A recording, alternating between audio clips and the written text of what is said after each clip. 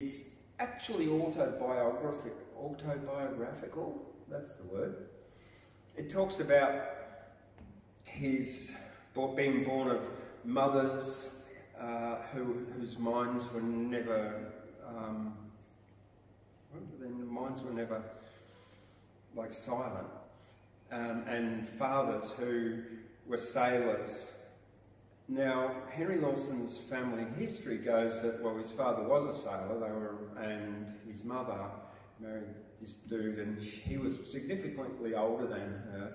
They went to the gold fields uh, out near uh, Gulgong, and uh, she always, Henry Lawson's mum Louisa, always wanted to leave.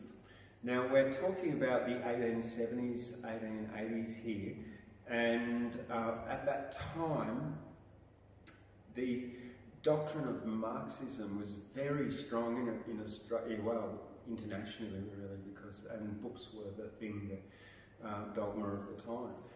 Uh, and we've got internet now, so there's a lot more discernment available.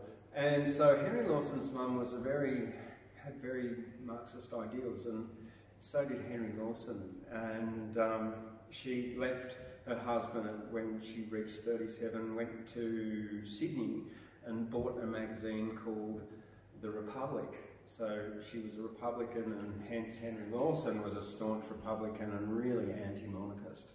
And a couple of poems I read out last night were right, just right against the monarchy.